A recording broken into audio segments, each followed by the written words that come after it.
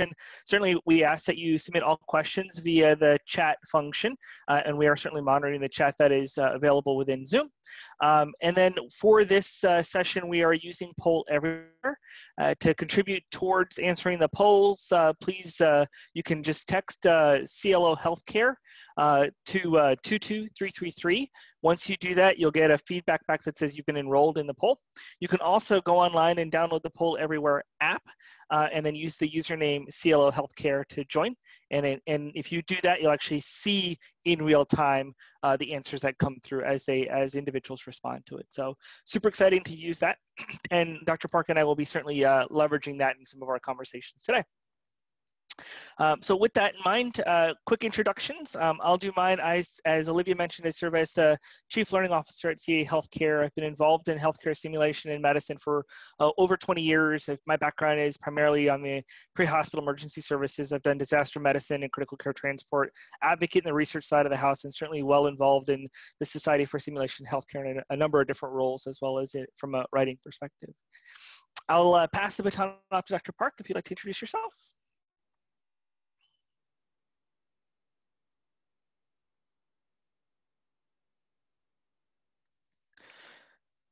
Let's see if. Uh... Thank you, thank you, thank you. Um, hi, everybody. My name is Christine Park. I am the Director of Simulation and Integrative Learning Institute at the University of Illinois College of Medicine. And uh, I have um, had, oh my gosh, 25 years of experience in medicine, um, starting in general surgery and then switching over to anesthesiology. Um, and some of you might know me from my role in SSH. Um, I was a pres I was the uh, president in 2017. Thank you so much. So we're going to drive this uh, very conversational in nature, and so um, the PowerPoint elements that you'll see pop up are primarily questions to guide some of the discussions, but our hope is to contribute to the larger conversation around healthcare simulation and safety. Um, the uh, World Patient Safety Day is September 17th, um, and so uh, sponsored by the World Health Organization. I think it's important for us to remember a lot of our work is around quality and patient safety. And so you'll see us just converse and talk about different things. So I think, Dr. Park, we're going to start off with patient safety as the first topic of discussion, right? Um, so we're going to throw this poll question out there, right? So according to uh, a report from the Institute of Medicine, mistakes in hospitals kill about half as many Americans each year as car accidents. And we'll open the poll up. You'll be able to actually uh, to answer the questions that are um, posted here. Um, maybe there it is. Uh, so you'll be able to answer this and uh, we'll see the answers come in real time. Um, uh, and so as we're seeing these answers come in, uh, what do you think, Dr. Park? Do you think that uh, this uh, is 50-50 or, or do you think car accidents and trauma are still the leading cause of death? Well, I don't want to lead the ans answers, but I would say um, I wish that this was true, and it's probably not true. Oh, poll issues. Um, yeah, and you know it's interesting. Uh, the the answer is it, it is false indeed, right? So the answer is that it is not true. The answer is false. And part of the interesting thing with this is that hospital mistakes uh, in one study really show that 98% um, of errors are done in healthcare, whereas the comparison shows that roughly 44,000 deaths are, are by vehicles. But how is that the case? I mean, you're in medicine, you're in anesthesiology, you're actually practicing today. I mean, where do you think the challenges exist in healthcare safety and patient safety? Well, it's a it's a great question, and where to begin. Um, I think thinking about mistakes, we have to include not only the direct mistakes, but the latent errors, which are all of the preconditions that allow errors to happen. Um, most people are familiar with the Swiss cheese model. Yeah. And with the layers of, of protection and care and prevention and training that we have, you would think that we wouldn't have as many errors as we do. Well, and uh, I mean, so let's let's mix this with quality and patient safety as an example. And so, so much of our work in healthcare and simulation is driven by the notion of of leveraging risk management teams and other teams to help drive education across the board. In your current role, working um, in and the director of simulation like how have you been successful in bringing the two elements together? I'm sure many folks on the phone are having challenges or may have had challenges bringing risk and patient safety at the same table of leveraging simulation to tie it together. So really putting the feedback together. I mean how have you been able to really match that hurdle and and and, and uh, move across the line? You know actually for this i really would be interested in learning from the success stories of people who are on this call yeah. It's my experience that some of the, at least one of the major reasons why the simulation enterprise with the um, hospital risk management and quality enterprise often don't readily intermingle is because often simulation is reporting up through education through a educational institutional structure so a college of medicine a college of nursing a college of pharmacy and in the hospital, that's a different, the risk and quality is a different reporting structure.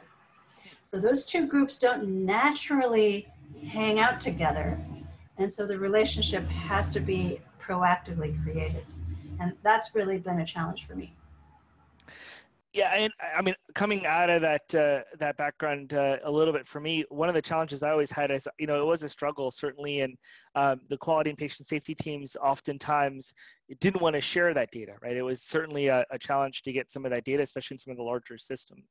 But when we were able to sit at the at the table and be part of safety event reviews and see the SSA scores coming in, um, it really did make an impact, right? You were able to say simulation can do X, Y, and Z for your organization, and here is how we can help you. And I think in the interim, some of the some of the win-wins are oftentimes driven by showing what you can accomplish, right? So doing an insight to, developing an after action report and sharing that information with others certainly drives that uh, that messaging forward. And you know where do you go from here right? I mean how do we how do we move the curve forward? Hospital errors are still happening. Patient safety is still a concern. Medication errors are happening.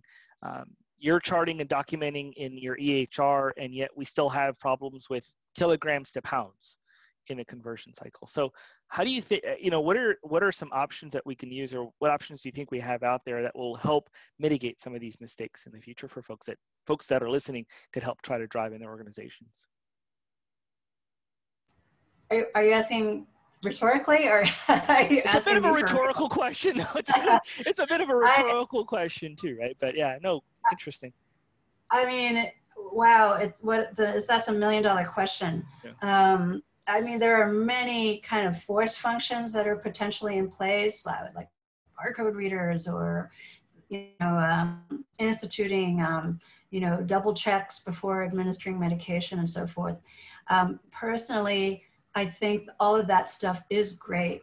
And I think in order for this to succeed, it's uh, we're talking about a culture change of teamwork, really fundamentally, um, because um, most of the times when errors happen, somebody in the room noticed that there was an issue, um, and either didn't feel empowered to um, speak up, or it was not the culture to speak up, um, and so that hardwired mechanism of communication around speaking up needs to be a part of every institution. I know different institutions have different levels of success with that.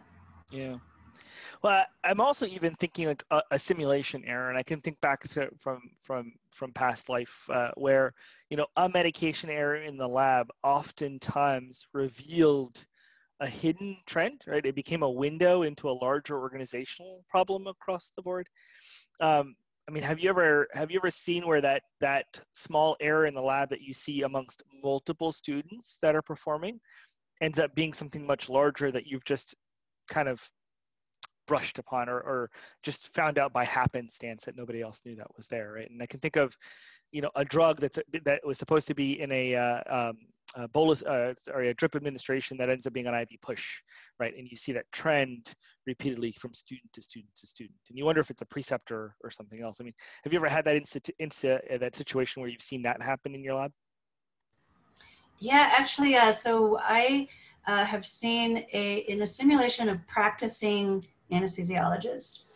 Um, we created a scenario that was actually based on a real error uh, of a medication error.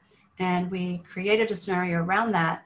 And um, what we realized is because of the way in which we ordered the scenario, so this was a, a full day course where there were about six scenarios in sequence. Because of the scenario that we placed immediately before, we've realized that we could actually create a recency bias um, that would tend to actually um, promote error happening again. And that was fascinating because it really shows that the errors um, don't occur in isolation, they occur in context of the training that is or surrounding a particular topic, the stuff that's actually happening in real time in somebody's clinical practice. And um, that was a fascinating feedback loop.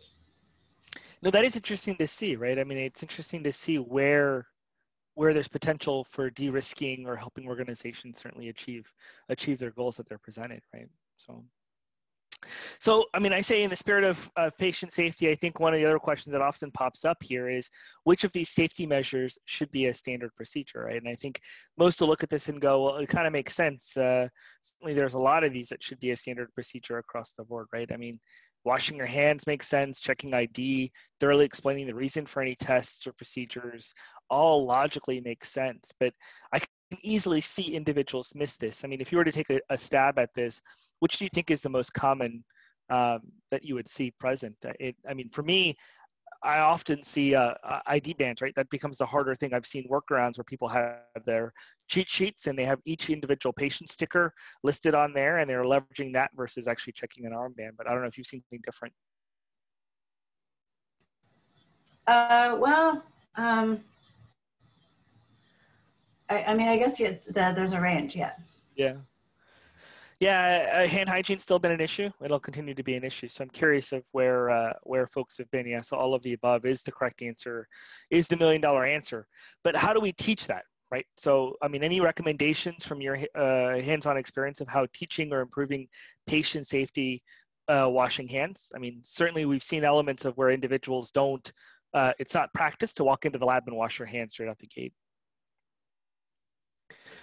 Well, you know what? Let me turn that question back on you, Amar. So, one of the interesting things that I feel like is at play for all of these issues here listed hand washing, checking IDs, um, thorough explanations is a feeling of time pressure.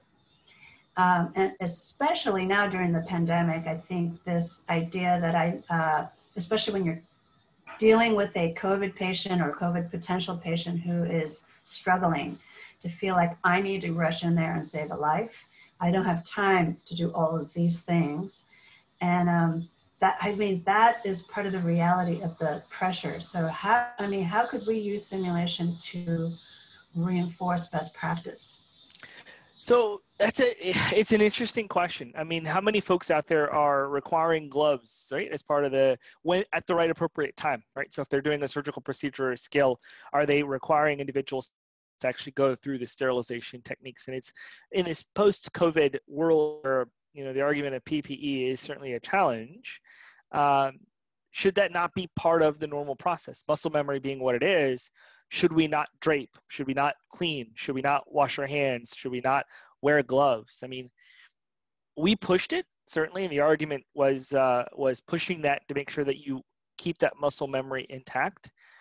But uh, uh, how many students do you feel like uh, uh, would would because of time and speed would avoid that step completely right at the beginning of their procedure or skill or simulation experience? Um, you know, is it natural for for the residents um, or uh, or even attendings or nursing to walk into a simulation lab, say hi to the patient, like a scenario, and immediately check an ID? I mean, we had to encourage it a lot of the times when we were doing stuff. I mean, I don't know what it, how it's been for you and, and, for for your institution. You know, um, so this Joint Commission standard of the of the two-factor identification of patients was not part of our practice in the College of Medicine where I work because most of the emphasis was around diagnostic decision making and really not around reproducing the muscle memory of the things that you actually have to do in real clinical care. So we did adapt um, about a couple years ago. Um, every single standardized patient encounter requires a double uh, double uh, two-factor patient identification, which has added a layer of challenge because um, the patient has to remember their actual birth date. And for a patient who's, let's say, 35 years old, year on year, that date is going to move forward by, by one year. Um, whereas in the past, they would just say, I'm 35. Uh, with respect to the technology-based simulation, that, that's an interesting nut to crack because many of the um, cases that are presented there involve coding patients. And it is really not encultured to do the two-factor identification yet. I was going to say, so how do we change that uh, that um, nuance, right? How do we change the notion of making sure that we're doing two-factor authentication? Because that can drive that can drive clinical practice and care, right? Delivery certainly because of of history that we missed or medications that are on the or something else, right? So, I mean, is there a tip or a trick that that exists to encourage that behavior to continue through in those cases as well, in that urgency case? I don't know uh, about tips or tricks. I it, it was uh, somewhat painful to to change the practice, and uh, we kind of had to bite the bullet and say uh, it's going to be um, annoying to have to remember a year of birth that changes year to year, and but we're going to commit to that um, because of because of the importance super interesting to figure out a way around it, right? And for those that are listening out there, if you certainly have suggestions of what's worked well for you, feel free to to to jump on the chat and, and share your story. I mean, I think all of us are trying to work through this, and you know, simulation is still in its certainly in its uh, I'll say infancy, right? So it's still building and growing and learning and tweaking. And um, this world of COVID certainly hasn't helped us a lot in terms of trying to drive, but it certainly has accelerated digital um, a hundredfold, right? So it's been interesting to see some of those changes, right? So we're going to try to try to move on to digi- uh, educational safety. And one of the pieces of educational safety I think it's important for us to talk about is the link, right? So there's a little bit of online training to look at, right, and the impact that online training has, the challenges associated with virtual, augmented reality, and guided mixed reality, and then the practice to simulation, right? And I think educational safety hits all of those. And certainly, Dr. Park, if you if you agree, let me know that, or let everybody know that uh, the discussions around like there's different elements of how we create safety in each of those spectrums, and I think they're combated different ways. Um, I mean, certainly, I'm curious of your notion of where do you think there are issues in educational safety that exist today? Because um, I think it'll drive some of our conversations around how we improve quality and safety across the board in, in the world of education. Well, uh, I would be interested in you, what your kind of number one would be. Um, I'm going to call out um, Aaron Calhoun and colleagues who just recently um, released a, an article in Simulation in Healthcare that has to do with the handling deception in simulation. Oh. And um, I, I think that is a, um, fascinating and perhaps underexplored area um, to think about safety.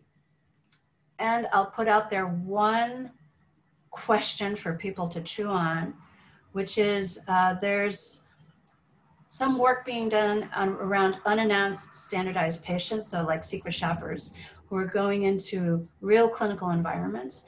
And the treating um, clinicians know that somebody might show up that's an that's an unannounced standardized patient, um, but they're not going to be told whether that's who are the unannounced standardized patients. The question for me is, is that simulation? Would we call that simulation? Um, for the actor, they know they're portraying a, um, a, a um, not their, their real self, um, but the treating clinician does not. And I, I um, the jury's out for me on whether I would classify that as simulation. Yeah, I can see the dilemma, and, and certainly the jury would be out for me as well. Just the same, you know, it's an interesting question, and certainly one that drives additional understanding of where the potential for problem is. Because if you had a secret shopper in your room, right, and and they were grading you or judging you, I'm not sure I'd be the happiest um, individual, right? Uh, certainly, I think knowing that you're you're um, being tested or evaluated is certainly important. But um, I mean, if I'm to look at these three here as a whole, uh, online, virtual, augmented, or guided mixed reality, or practical simulation, where has the greatest risk across the board?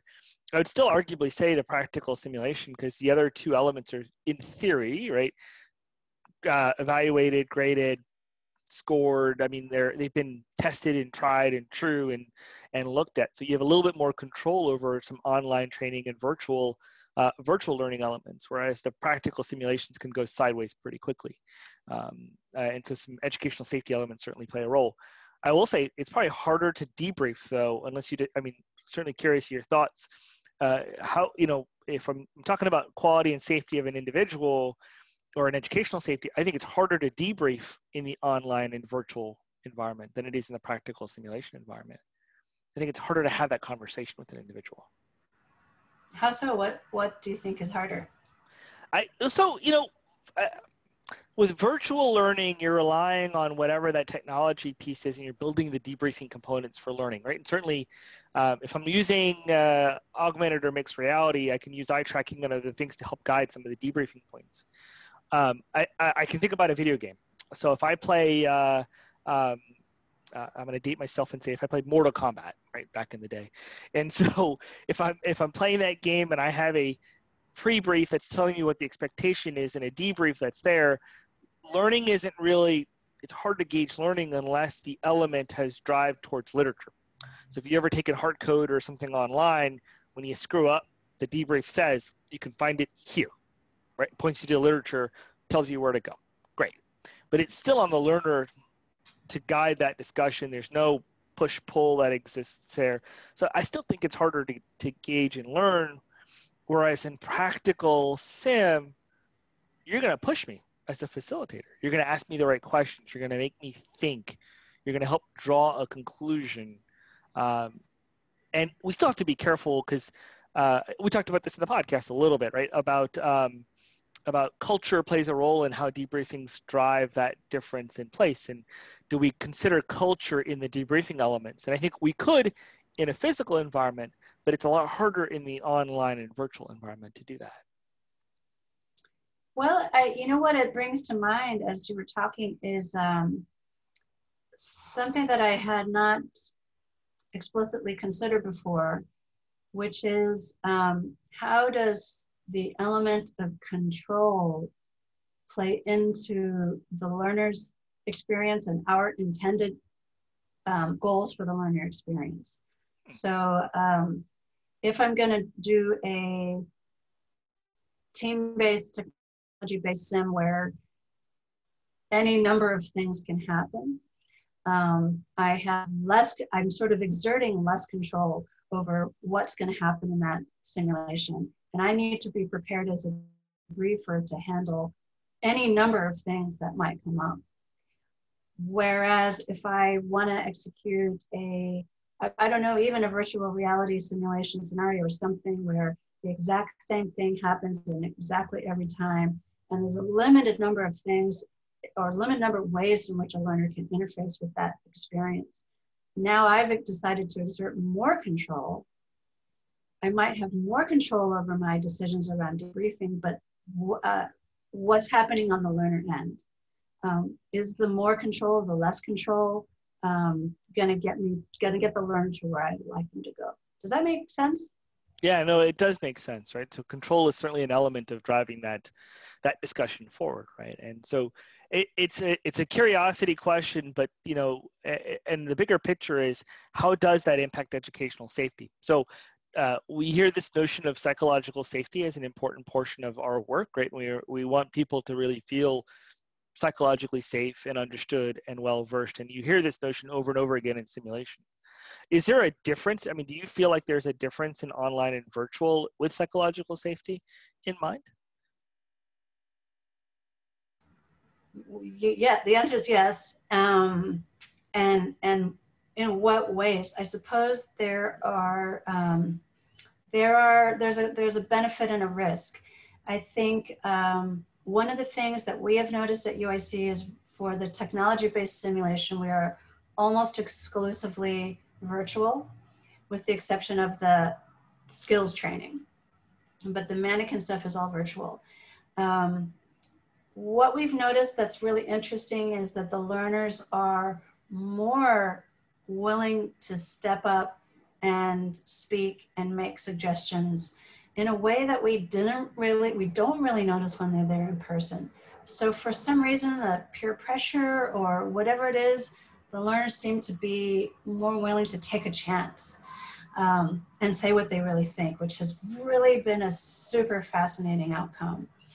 Um, on the flip side since i don't have them in the room with me if a learner gets triggered with some past trauma or if they're having difficulty, it is much harder for me to pick up on some of those nonverbals. And it is um, almost impossible for me to sort of take the learner in a sidebar and say, hey, do you want to talk more afterwards without me being really obvious about it and, you know, on the video conference. So I guess there's, a, there's sort of those two aspects that I think about. Uh, but it, it certainly does change our, our thought. I mean, uh, we're still all learning about how to do these virtual experiences in real time and certainly trying to push it forward faster in a lot of ways because this is a reality certainly that I think is um, is here to stay. And we'll talk about worker safety, uh, you know, certainly shortly. But the the educational safety still is true because what is considered essential learning, right, in in in the scope of our work is simulation and the components of simulation essential can it be accomplished virtually? I mean, you certainly mentioned some elements are online, some elements are in person. Mixing the two get two, two together becomes a bit more challenging, measuring competencies. And this is where I always feel like augmented and virtual help you do that, but there are issues with creating a safe learning environment and certainly helping learners take it to the next level sometimes. And you can do it well in virtual augmented as long as it's got that rote controlled um, uh, pieces in place. And when you add AI into the mix, that just complicates things too, right? From an educational safety standpoint, I think AI can can be taught good and can be taught bad, and it's important for us to drive that direction. But it certainly sets us up for some educational challenges ahead. Yeah, that makes sense. So. Um, a couple, uh, certainly a couple questions for the audience, right? So in this one, I think you'll, uh, based on the conversation, is education or educator safety a myth? I hope everybody knows the answer to this question. Certainly, the answer is uh, you haven't figured it out yet, I would say true. Uh, uh, sorry, is uh, is um, is not true. It's not a myth. It's a reality of the world that we live in, and it's important for us to certainly take into action that that piece, right? And so, you know, as we get into some of these other pieces, um, I guess one of the most pivotal questions that pops up because this drives psychological safety education safety. This drives a lot of the notions that we battle. And I promise you, if you've ever come to an IMSH or an Axel meeting or any other meeting out there, this is a topic of conversation that always comes up over and over again. And it is drives the conversation that's important for us to talk about, which is, is uh, it's acceptable to allow uh, the scenario to end in death, right? And I'm certainly curious of what everybody thinks out there is uh, of this. Um, I certainly have uh, my thoughts and opinions. Um, I don't know, uh, Christine, do you want to start with yours, or uh, or would you like me to, to to drive mine a little bit? Yeah, please. After you. Um, I will say I do believe that it is acceptable to allow a scenario to end in death, especially if the goal and the, the objectives of the entire program drive that right? So if you're creating a scenario that has a complex scenario or a complex case where ultimately the patient may pass as a result, um, uh, it, if it's part of the learning experience itself, yes, hands down. Now, the million dollar question that I will always dabble with is you head down one pathway and the student decides to head down a completely different pathway and ends up overdosing your patient. Do you stop do you pause? Do you reset? Or do you let it go and have a conversation around drug issues, challenges, overdoses, medical errors, and everything else that may have not been part of your initial objectives, but certainly pivotal, pivotal in understanding medicine and the impact it has on, on care delivery. So that's why I struggle with often, right? Because um, I don't know if there's a right answer to that. And that's where sometimes I would sit in the independence um, category. But I don't know if you have a notion on one way or another.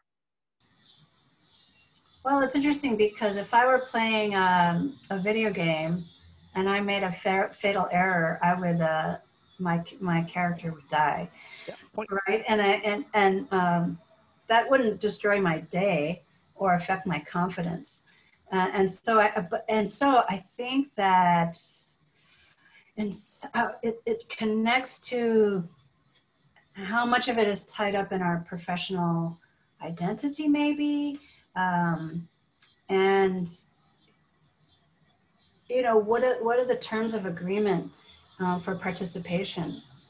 And so i think that if i brought learners in and said to them so today we're going to talk about the importance of communication and then the patient died in that scenario um, that's not something that the learners maybe felt that they had signed up for. Um, versus if I told them so today we're going to do a simulation uh, and I, I want you, the goal is for you to understand what it's like um, to the patient die. And then afterwards, we're going to talk about it. Um, now the learners do know what they what they have signed up for. Um, and, and it's interesting, this element of, it gets back to the question of deception. So will, let's imagine that I told the learners your patient today is going to die, um, will that affect their ability to participate? Um, versus does it have to be a surprise? Um, and will that affect their ability to buy in? Would a learner say, oh, who cares? So the patient's going to die, so why even bother? Um, one of the things that we've learned in some work that we did at UIC is that telling people that their patient is going to die in the simulation doesn't affect their participation at all.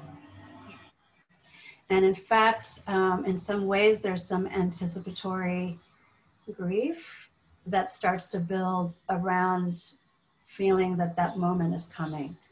Um, it's a thing that we have only just dipped our toe into exploring, so it's a super complex subject and you wonder if that uh, anticipation doesn't drive something else, right? Like, like, well, the patient's going to die anyway. We know how the scenario is going to end. So now, nope, nope, now, nope, nope. Like, you you wonder if they don't second guess uh, some of this because of that outcome, right? And so, you know, for years in sim, also the names drove that, right? I mean, I remember uh, doing cases and scenarios where the patient's name is "Will he make it?"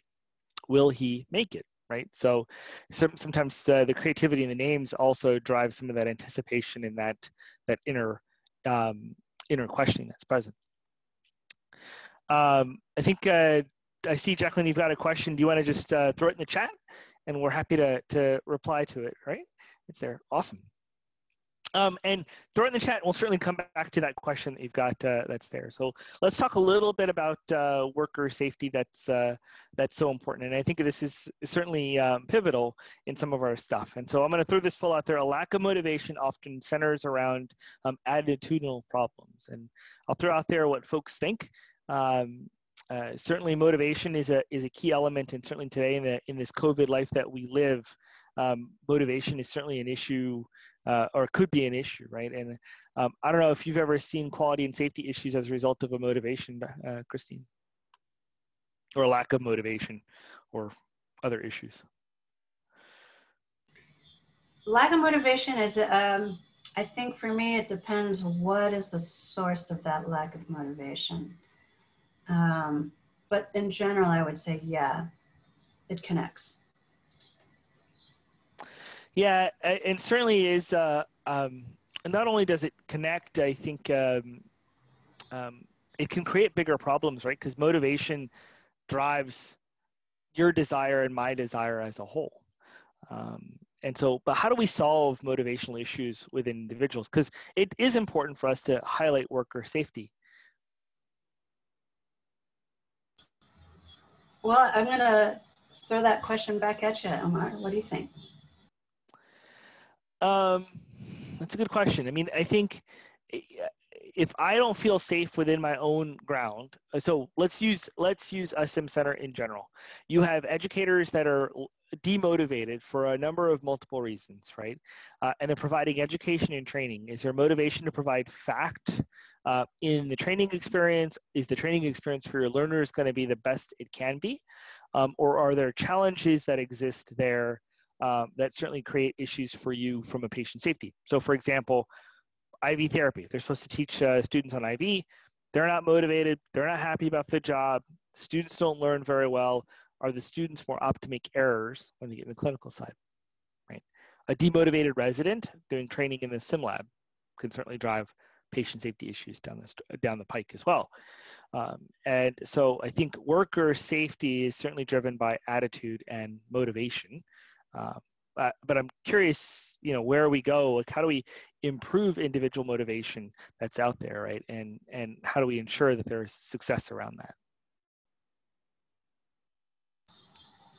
Well, I, I, am not sure if this is, uh, if this, well, this is a tangent, but I'll just say it.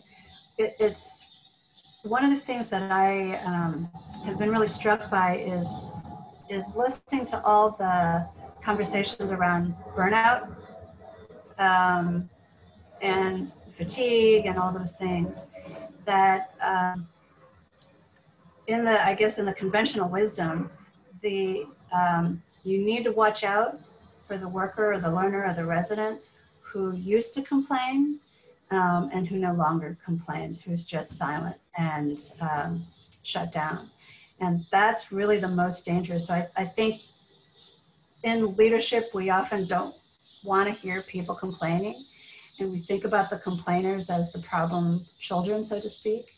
Um, but really, when that person crosses over and says, has given up and says it's not even worth me complaining anymore, and so we're talking here about sort of the lack of motivation, um, that's a pretty dangerous situation. So I'm going to flip it. What about the quiet one? What about the one that is, that seems to be not motivated to participate, that's sitting in the background, right? You know, how do, how do we engage them into the learning experience? And I mean, many of us, I'm sure, have had that uh, that student that's back there, and we certainly bring them, try to bring them forward. But do you see any sense of concern with the individual that is in the background that doesn't want to participate?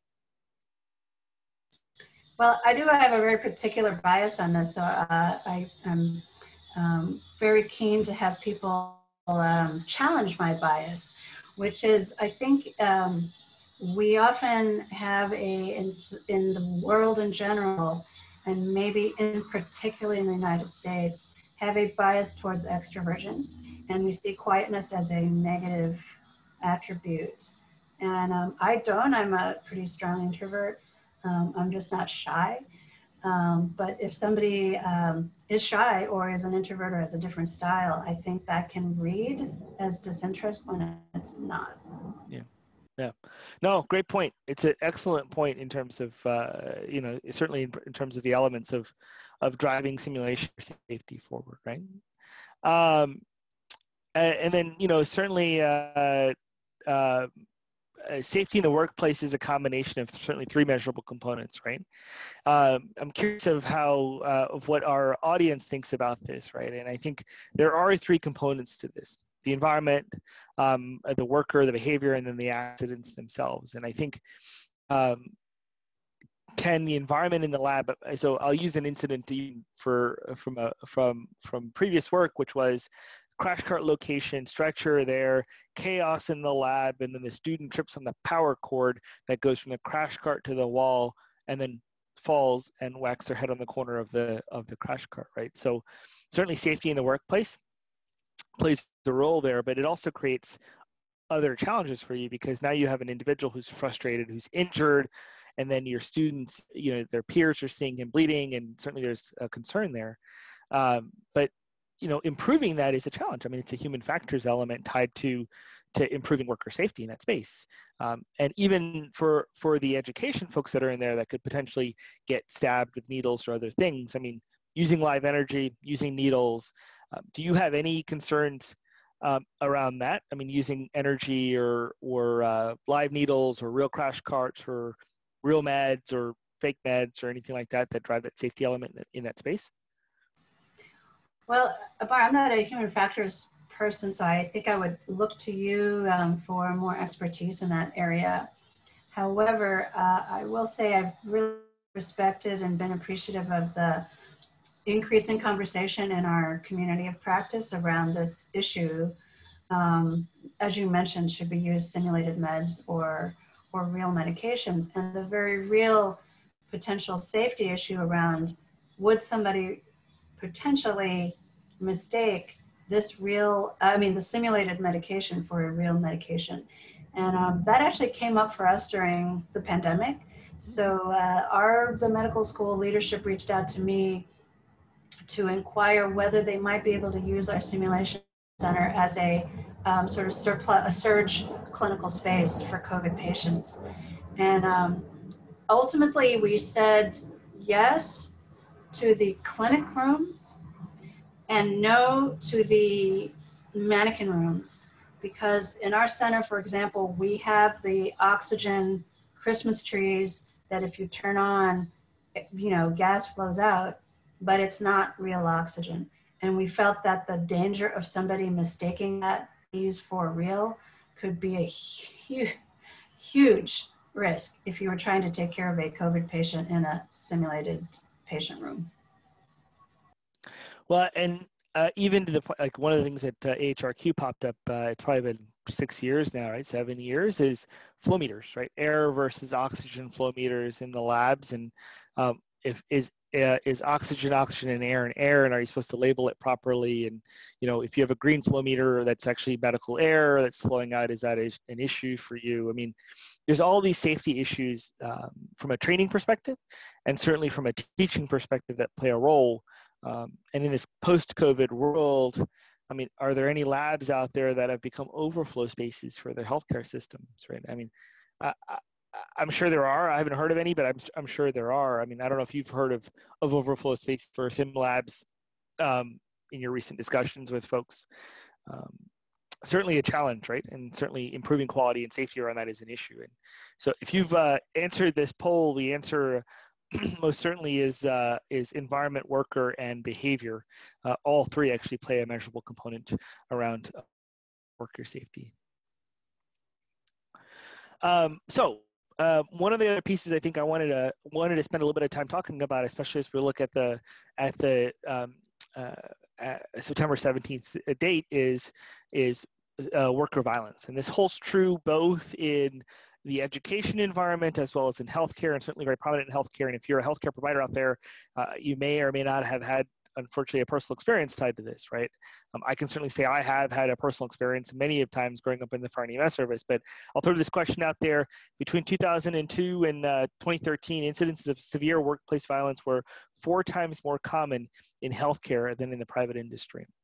And I am certainly curious of everybody's thoughts around this um, uh, as well. And um, you know, for me, this is uh, near and dear. You get uh, challenging patients and um, or medicated patients that create issues for you, but this does become a massive uh, worker safety issue. Um, I mean, uh, Christine, you're in, you're working today. You're practicing clinically. You're certainly working in the education space. I mean, what are your thoughts around this? Well, I, it strikes me that workplace violence to me probably looks very different than workplace violence did to you. So uh, what did that look, what, what comes to mind when you think of workplace violence?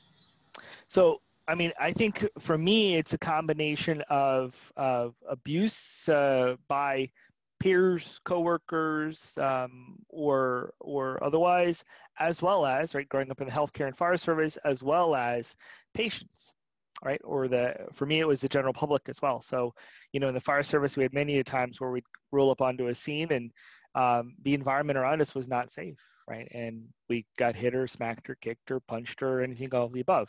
So that is workplace violence. It happened in my workplace. I was exposed to it. Um, I got injured as a result of it. Right? It just it was an unsafe environment um, as well. I would envision hospitals are no different, right? Whether it's the patient or their family member or a peer or a colleague or something else, it is still, to me, workplace violence by definition. Well, I, I have to say that I am lucky that I've never uh, had a patient actually try to physically assault me. Um, and maybe that's because I'm an anesthesiologist, so most of the time they're under my pharmacologic control. Um, but, you know, I mean, uh, all joking aside, I think violence can take the form of physical violence and as well as psychological violence, as you alluded to, Amar. And um, all of this, all of this other stuff related to um, gender, um, racial, racial violence, um, all that stuff uh, is just as common, if not more common in healthcare. And, and, and maybe in some ways it is more painful because in healthcare, we believe that we're called to maybe a higher standard than just, you know, uh, in the, in the street um, or, you know, going shopping in the grocery store. Um, and uh, maybe maybe that's why it feels more painful to to experience that at work. Yeah. Well it's not fun either way right? I mean um, it certainly is a challenge and, and uh, so i was looking at some data recently on this topic and certainly some of the stuff that the world health organization has populated in um, you know in in uh, uh, in 2017, right? And uh, let's see if I can pull this graph up for for everyone to see. But I think it's pivotal and certainly very telling um, in in nature uh, of where things are right? This is healthcare violence is the top red line and this is every other industry across the board right? So manufacturing retail construction it's telling to see that it is uh, it's at 9.1 compared to 1.9 and this is from the us bureau of labor statistics and in and so it was reported 18,400 such injuries reported uh, in the private industry uh, uh, sorry, in the industry as a whole, and of which 71% of those were healthcare related, were in the hospital or in other areas, right? And super, super scary when you think about um, where that is and the impact that certainly has on on us as individuals, because it's demotivating. I mean, imagine you getting hit or hurt in the at work. You really don't want to go back. It's the uh, it's the place where you took a hit, right? I mean, it's not. It, it just it feels personal. Um, uh, as well, right? So certainly a, a big challenge um, as well. And and you know one of the other facts here that's important, and this holds true both in the lab setting as well as in the educational setting, um, is one clinic in uh, Northeast Ohio reported confiscating 30,000 weapons at entry point into the hospital system, right? So certainly a, a challenge and a risk that's present. And these numbers are, are staggering when you certainly talk about um, uh, when you certainly talk about the impact um, creating a safe learning environment has and creating frustrations. I mean, I've seen full-on fistfights in the lab before, uh, where you know providers disagree and it just turns into this massive challenge and it's a full-on fight.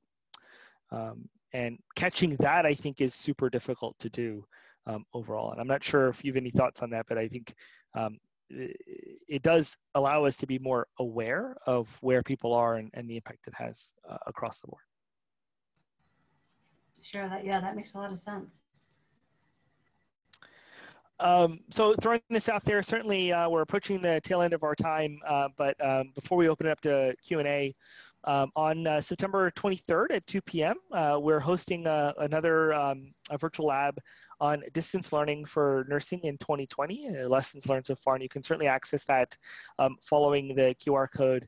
You know, a lot of our focus is certainly on um, showing you the stuff that's out there and talking about key topics of interest and you know certainly uh, uh, uh, my thanks to Dr. Park for joining us today and talking about quality and patient safety and the impact it has, especially as we look at uh, at improving healthcare outcomes. Um, so I'm going to open the floor up for some uh, some Q and A. I know um, uh, there are some folks that have a Q&A. I'll throw this out there as we are answering some questions for everybody uh, across the board. Um, I know there is a hand raised, and certainly I think, Olivia, I'm not sure if you want to unmute uh, Jacqueline. I think Jacqueline has her hand up. Uh, sure. She wanted to ask a question. Yep, no problem.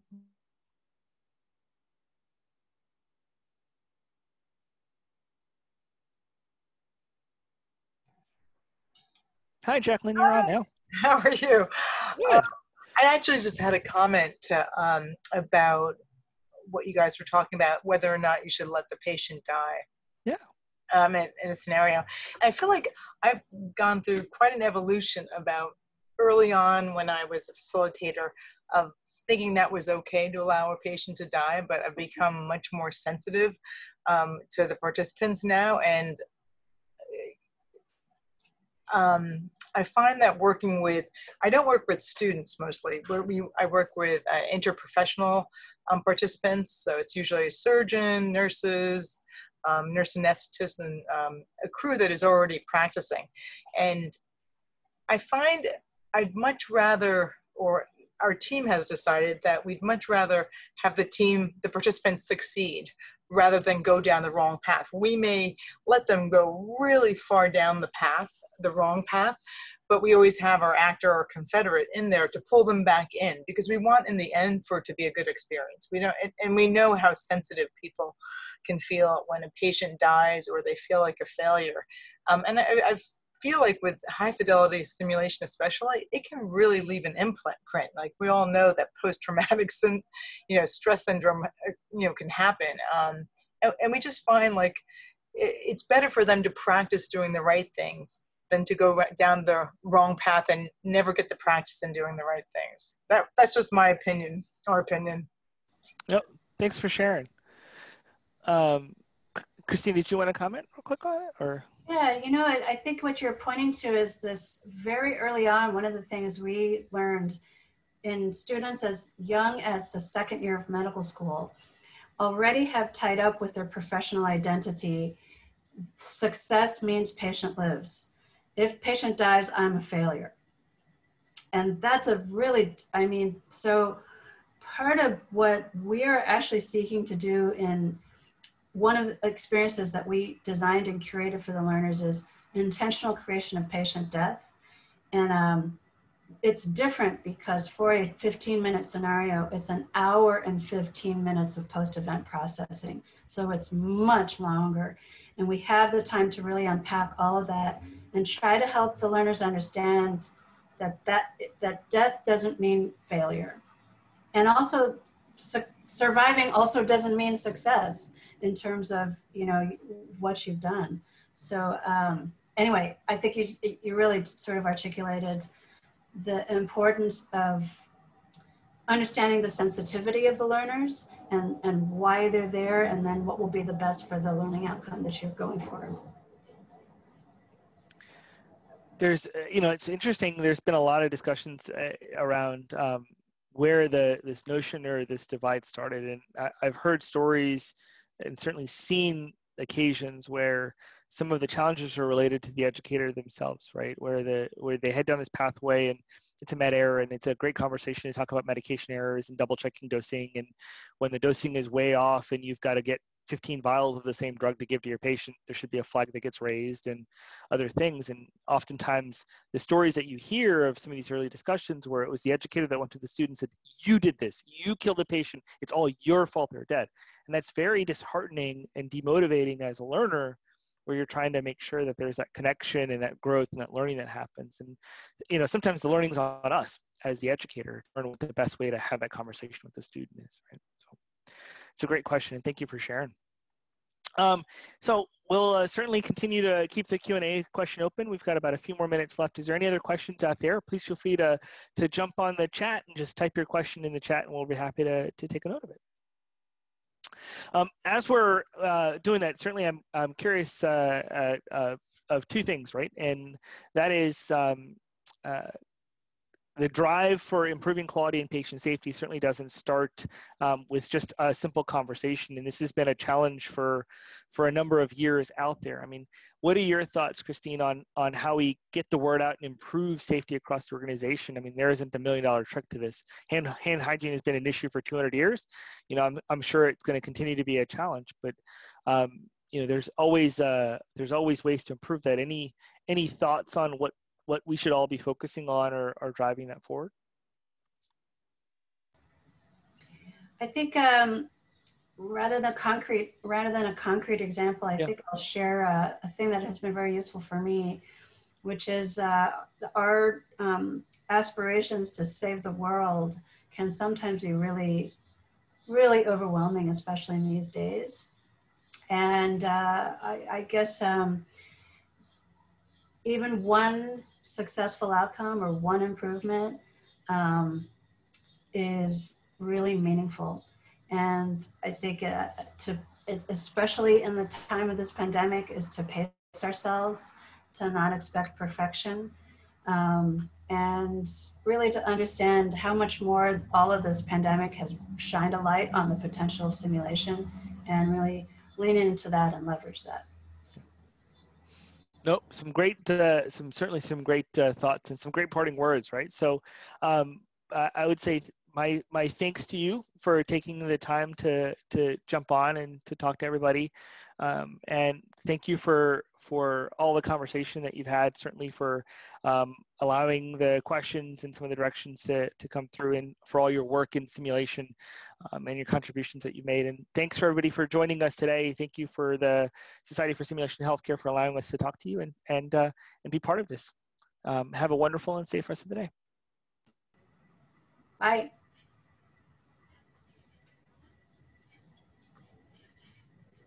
Thanks, Amar. Thanks, Christine. Thank you.